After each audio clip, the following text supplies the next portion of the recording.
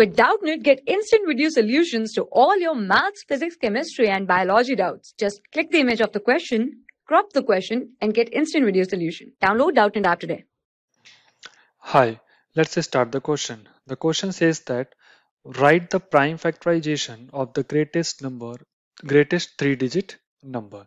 So we have to write the prime factorization of largest or greatest three digit number. So first we will look at the greatest three digit number.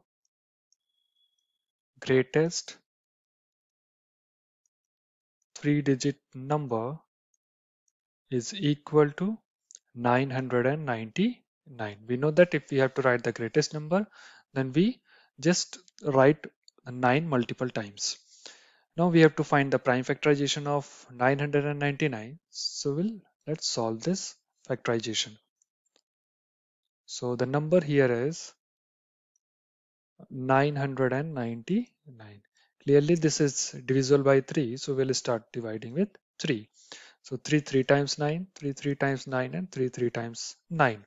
Again it is divisible by 3. So 3 1 time 3, 3 1 time 3 and 3 1 time 3.